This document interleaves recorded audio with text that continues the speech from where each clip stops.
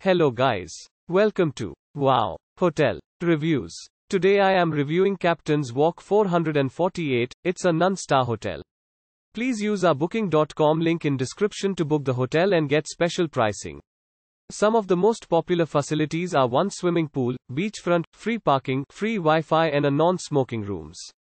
Captain's Walk 448 is located on the beachfront in Hilton Head Island, a few steps from Hilton Head Island Beach. Every room includes a balcony with a sea view.